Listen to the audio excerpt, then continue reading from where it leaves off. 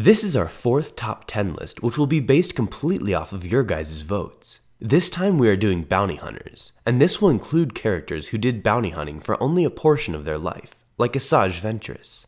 Like before, vote for any bounty hunter that you want for any reason, whether it be that you like their personality or because you simply like the way they look.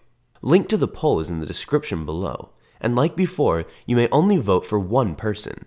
If there is a bounty hunter that you don't see on the list, then you can write him or her in the other tab and they will be counted. And we will continue to show off your guys' comments in the results video too, when we highlight the common reasons why each character was voted for. Though be sure to post them in the YouTube comment page, as we might not see them if you write them in the poll comment section.